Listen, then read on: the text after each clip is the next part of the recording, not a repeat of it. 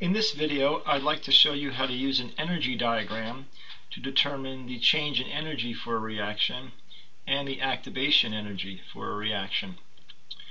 First, we'll work on the change in energy.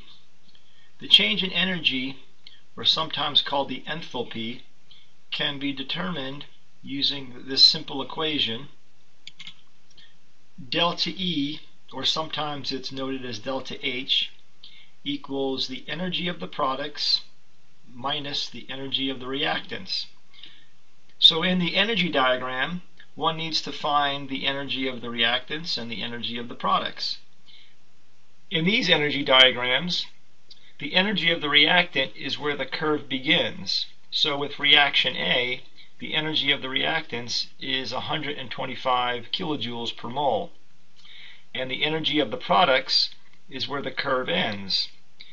And the energy for the products is 25 kilojoules per mole. After substituting those values into the equation, the change in energy is negative 100 kilojoules per mole. By convention, negative change in energies, in this case negative 100, would imply an exothermic reaction. The change in energy for reaction B is positive 25 kilojoules indicating this is an endothermic reaction. Now we'll determine the activation energy for both reactions using the energy diagram. Activation energy is always positive. It's energy that is needed for the reaction to take place.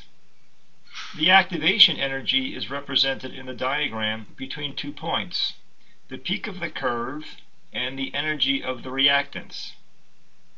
So the activation energy for reaction A is 25 kilojoules per mole.